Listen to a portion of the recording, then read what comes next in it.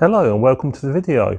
Well, it's half term here in France. Uh, as you've seen in the last video, I had my kids uh, with me and uh, we had a bit of fun uh, filming uh, a support video which is going to appear in future videos. Anyway, um, it's still half term as I said and we're into the second week. Uh, first week was very rainy.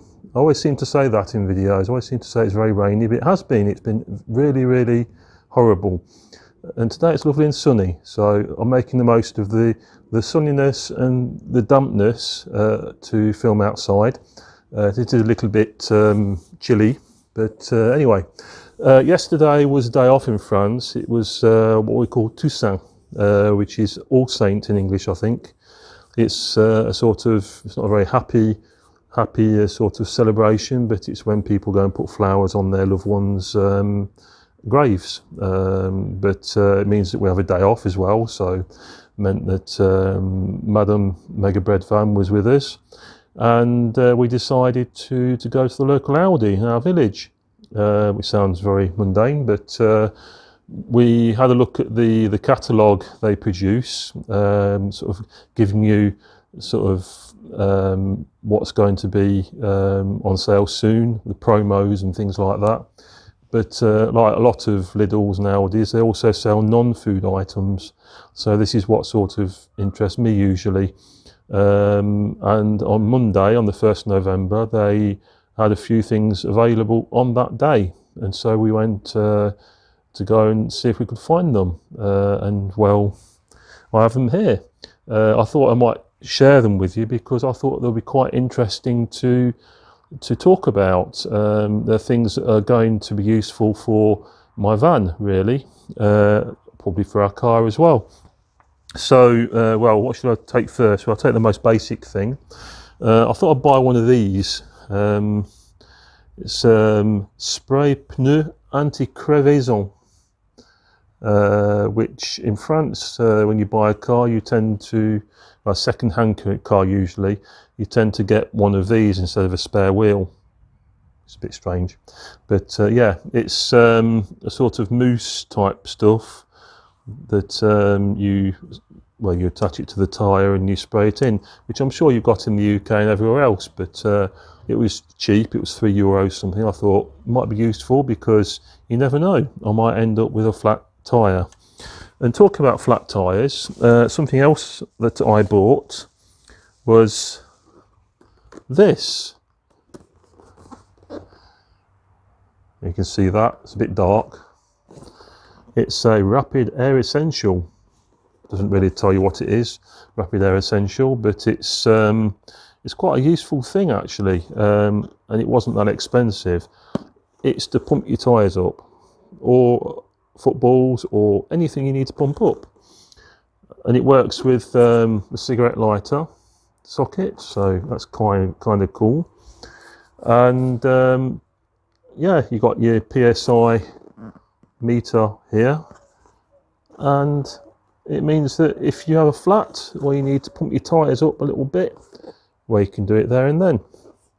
Usually, when we go on holiday, um, we usually stop at the the local garage and uh, pump up the the tyres before we, we go and do about 300 kilometres. Um, it's probably the only time we pump the tyres up on the car, um, I think. But uh, I thought this would be ideal for my van um, because uh, with it standing still for quite a while now while I do some, some work on it, obviously the tyres tend to um, to lose a bit of air. Um, so yeah, very good thing. Um, what else? What else? What else? I bought this and I'm not sure why I bought it. Um, it's very puzzling when you look at the picture on the front. No, it's not not really anything to do with gardening. Um, but um, yeah, I thought it might be useful, and then I realised it probably won't be. Um, it's it's basically for your car boot. Um, it's like a little platform thing. In fact, what I was thinking of doing is actually taking the things out of the boxes. I was talking about them, but I haven't. So um, I think that, well, I'll start with this and then I'll go back to the, the pump. Doing everything backwards as usual. So, handy knife. don't really want to cut myself live on YouTube. Um, not ideal either. Stick that on there. So no, it doesn't. It's determined not to open. trashing the box at this rate. Due to the magic of video editing, I can cut this out. Right, we're getting there. I've got inside. So, I'm not even sure they're going to be of any use. Never know. It wasn't expensive, it was five, six euros or something like that. And they sort of got a scratch thing on the bottom here. And you stick them in your boot. And you've got some Velcro fastenings, elasticated Velcro fastenings, I think they are, yes. And you stick them through the slots and you use that to support things so they don't fall over. You never know, because sometimes it has been known that we bought flowers for people, which is a tradition in France when you're invited to go and eat at a friend's house or relative's house, you often take flowers. So I think those will be for Madame Mega Breadvan. So yeah, those can go to her. So we'll go backwards and we'll open the, the thing that uh, I've just shown you. Um, has that got tape on it as well? No, it hasn't.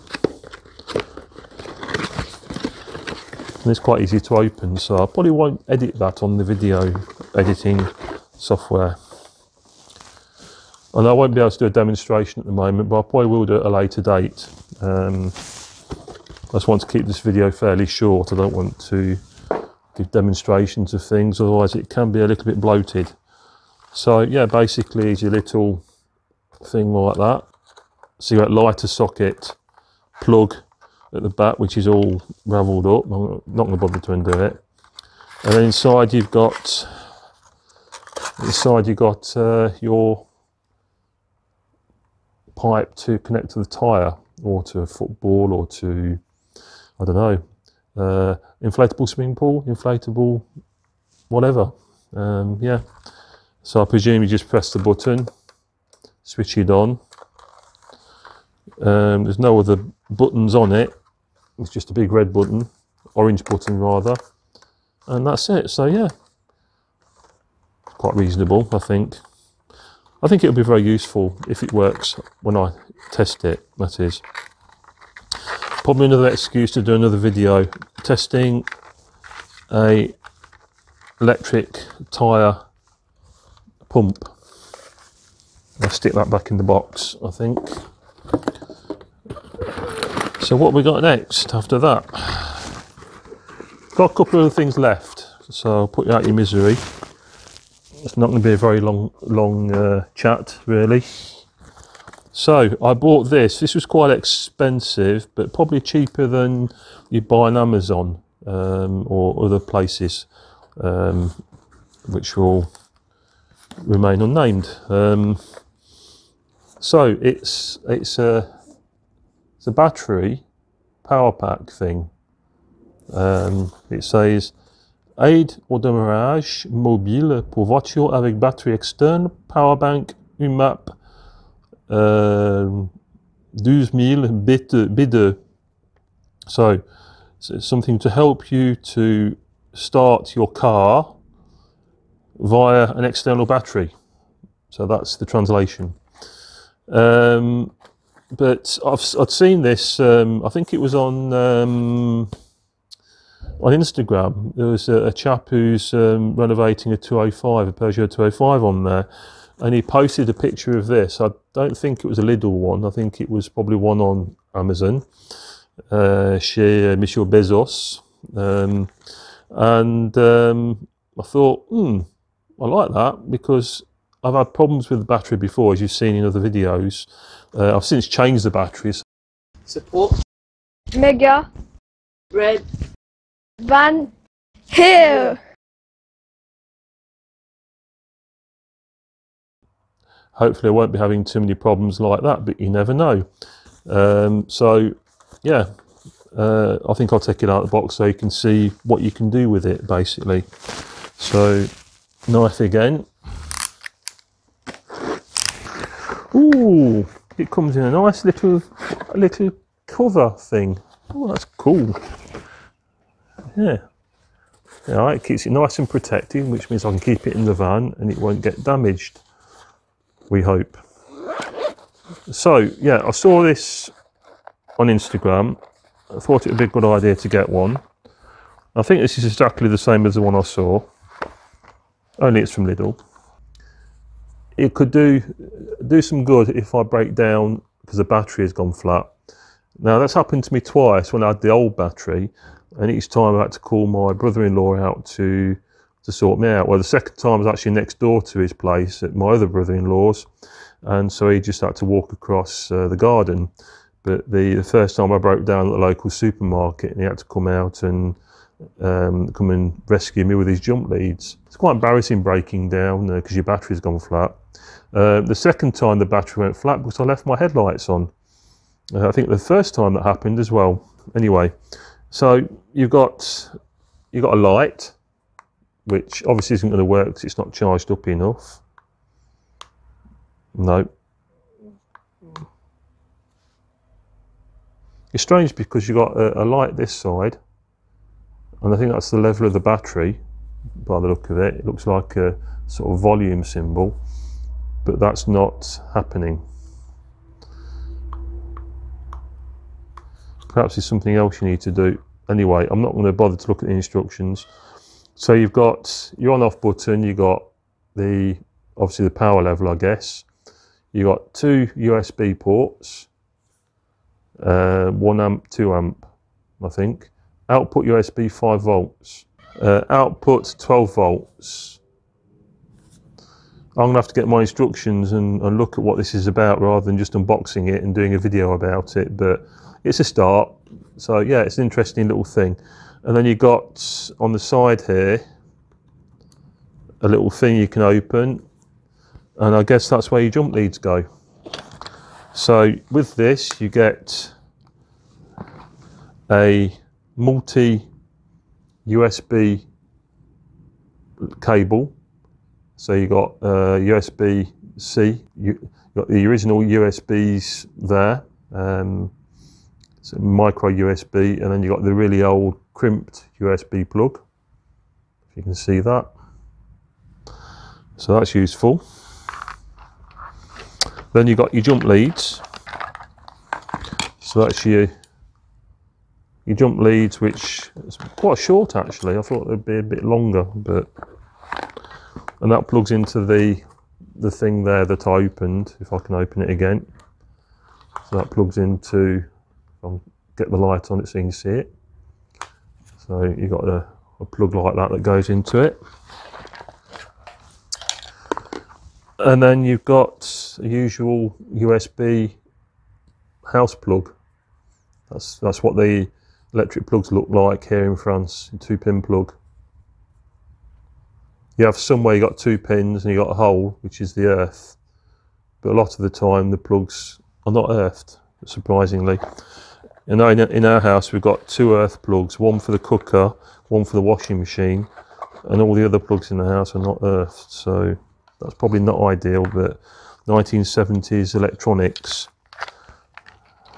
or electrics even, but it's a lifesaver and uh, yeah you can run your, your phone off it as well but it's especially useful if I break down I just have to make sure I charge it up before I use it oh there's another lead here it's falling onto the floor you've got a, a, cigarette lighter socket plug as well you can plug into the thing which explains why you've got the output there so that goes in and you've got an output for your cigarette lighter socket. So that is, is quite useful. So that's a nice, useful toy. Um, and I think that's nearly it. Just one last thing I wanted you to look at before we come to the end of the video. And before I have need to go and get a cup of tea because it's getting a bit chilly. Um, I ordered this as well. Um, yeah, nondescript plastic wrapping because this is sort of to do with what's going to be happening next on, on Mega Breadvan. Um, I can just try to open this fairly quickly. Don't want to take it all the way out really because I want to keep it in the wrapper until I use it. I just wanted to show you roughly what it looks like. It's cheap insulating material, if you can see that. I'm going to give it a try because it was, I think it was about 16 euros. And I can't even remember how many meters that makes. I don't think it's very much looking at the, the way it's wrapped up. Um, but yeah, that's going to go on the, the panels that I bought that cost me a fortune, purely because um, looking at the old panels that were there, which were the same, but just old, um, when they get water on them, they tend to fall apart. Whereas this is sort of coated, You've got the aluminium coating on there and I thought that might protect them. Anyway, thanks for watching uh, me unbox things. More things will be happening with the van at some point. Um, like I said, the next thing is the insulation. Um, in fact, the very next thing is going to be doing some plastic repairs and I'm going to be experimenting with um, creating some plastic slurry. So that's going to be fun. So take care of yourselves Talk to you again. Bye.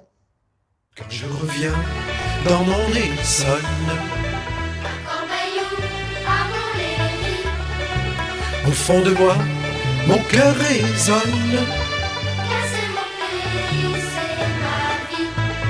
C'est le plus beau pays de France.